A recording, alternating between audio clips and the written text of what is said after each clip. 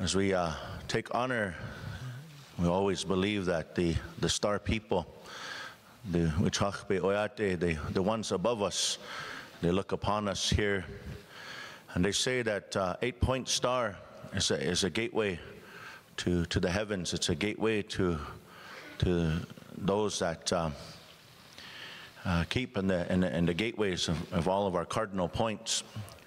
And, and so, in this way, uh, somehow in the, in spiritual domain, they, they told us this name, Wicapi Omani, that, uh, you know, he, he walked here on this earth life amongst many people, amongst star people. We will all take our journey to be with the star people, with our ancestors.